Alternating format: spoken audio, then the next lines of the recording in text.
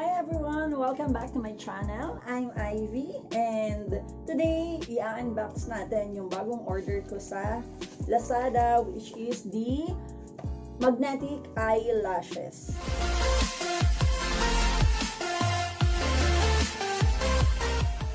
So sa mga hindi pa nagsusubscribe sa channel ko, please click the subscribe button and hit the notification bell para naman updated kayo sa latest video na i-upload ko. So, unbox na natin tong bagong order ko sa Lazada. So, this one is from China pa yung seller nito, kaya medyo matagal ko siyang inintay. So, Again, this is only 150 pesos kasama na yung shipping fee. Kasi meron akong free shipping fee, fee voucher. So, yun yung ginamit ko. So, mismong item lang talaga yung binayaran ko. So, when it comes to packaging, medyo mahirap siyang buksan. Pero naka-bubble wrap naman yung loob niya kahit hindi babasagin. So, tingnan nyo. O, kahit hindi babasagin yung item. Kasi nga from China pa siya eh. So, medyo malayo ang pinanggalingan niya. So, this one is the magnetic eyeliner eyelash suit. Oh, suit ba? Guys, look at this. So, ito yon Beauty belongs to you. so, let's open this. Kasi 'di ba, ang hirap-hirap ngayon magpalagay ng ano, eyelash extension kasi after ilang days, naghihiwa-hiwalay na siya. Kailangan talaga magaling ka mag-maintain. So, kailangan mo pa rin ng time and arte. So, sa mga nagmamadali dyan at gusto lang ay yung, tsaka pag may contact lens ka, ang hirap talaga ng mayroong ano, eyelash, eyelash extension. So, nung nakita ko to, since ako naman is laging nagmamadali, wala akong contact lens, pero lagi din kasi ako nagmamadali. Wala akong time mag-ayos-ayos ng kaartehan. Wow! Guys, ito yung box. So, ito yung laman ng box. Look at this. Ayan. So, meron na siyang kasamang tool na pang lagay sa eyelid nyo para hindi nyo nakakamayin yung mismo ano. And then, this is the magnetic eyeliner. So, open natin. Kasi di ba lagi din naman tayo nag-eyeliner. So, ito, nakapag-eyeliner ka na, makakapaglagay ka pa ng false eyelashes. Tsaka pwede mo siyang gamitin in 30, 30 times ang isang false eye. So, every night pwede mo siyang tanggalin. So, pag tanggal mo, pwede ka na ulit maghilamos. Unlike sa naka eyelash extension ka, usually hindi mo pwedeng kuskusin yung mata mo kasi nga man lalaglag siya. So, sayang. Kaya talagang yung may mga ganun, maingat sila pag mo sa gabi, sa ano nila, sa mata nila. So, unlike this, pwede mo siyang tanggalin every night and then free-free kang linisin on your own way yung face mo. So, sabi dito, magnetic eyeliner eyelash suit. So, kasama nga dito yung magnetic eyelashes. Ito yung magnetic eyelashes, magnetic eyeliner fluid, and the eyelashes tool. So, ito yon. Paano ba siya gamitin? So, shake well down. And then, apply the magnetic eyeliner in eyelid and wait for it to dry out. So, hindi mo siya pwedeng idikit. Hindi katulad ng glue na pagkalagay nyo, ididikit nyo na kagad. Iintayin nyo matuyo yung liquid eyeliner na nilagay nyo. Pag super dry na siya, tsaka nyo lang ididikit yung false eyelashes. By the way, ang ganda ng eyelashes niya. Three different, ano, design. Yung kapal niya, meron pang super party, pwede nang magmukhang anime, and then, meron medyo manipis lang, tapos medyo mahaba.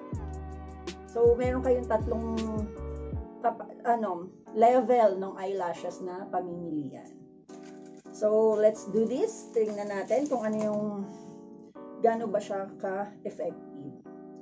Diba? So, minsan hahanap din kayo ng madaling paraan to look beautiful.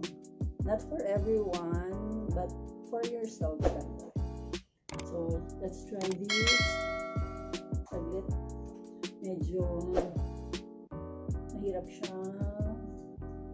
Kasi ako sanay ako sa pen type.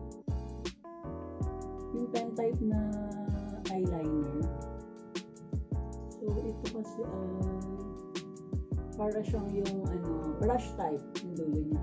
Although sobrang nipis, kaya madali mo din naman siyang mai apply Hindi naman siya magme-mess out sa'yo kasi sabi dito ay mabilis din naman siyang matuyo.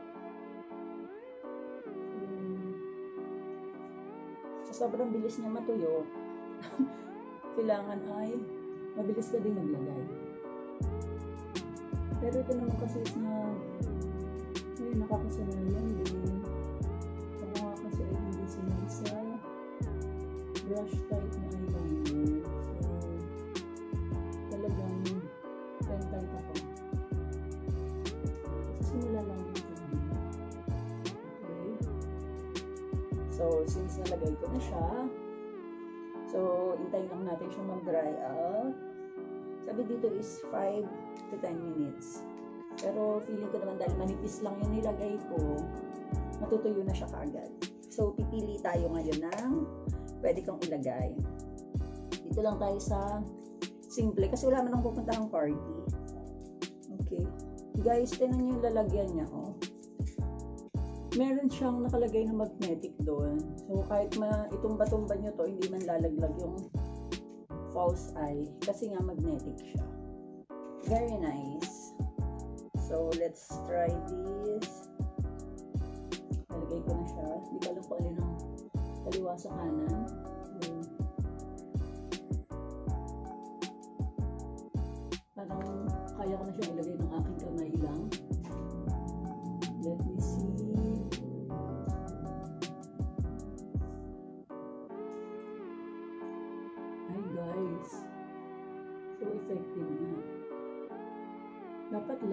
ka magguhit. Kasi yung pagkakaguhit mo, yun din yung pagkakadikit niya. Oh, diba? Sobrang bilis lang niyang ilagay.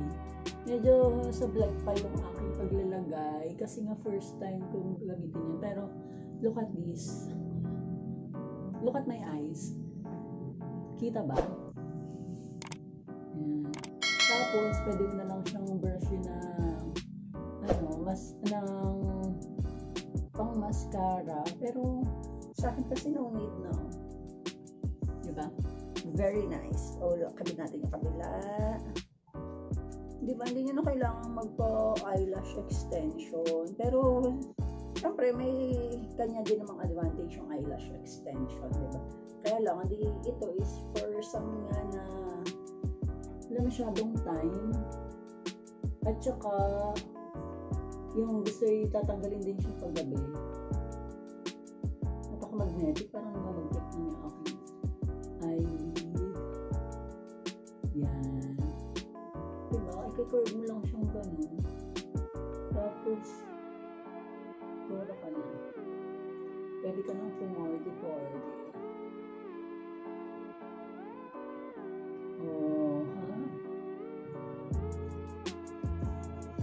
So, di ba?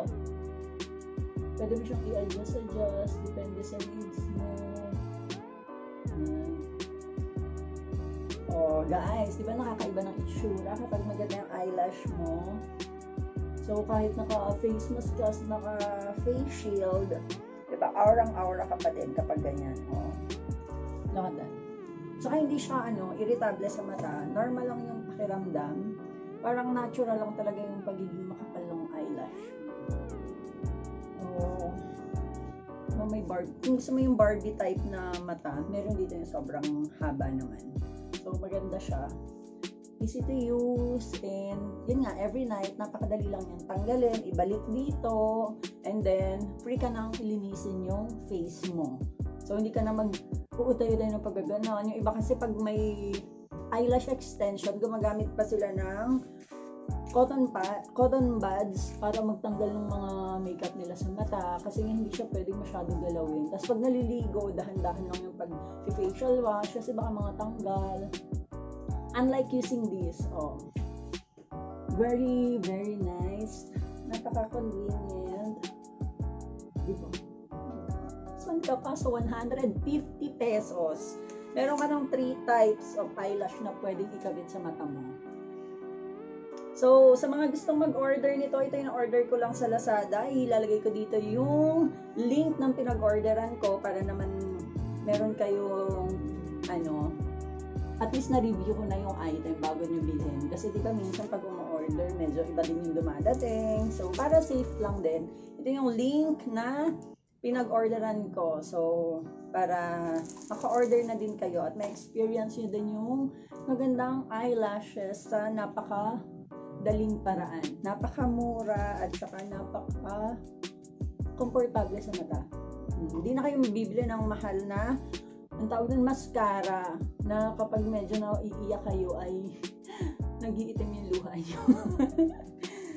so, that's all guys. So, sana nagustuhan nyo tong bagong item na inintroduce ko sa inyo. So, sana after nito,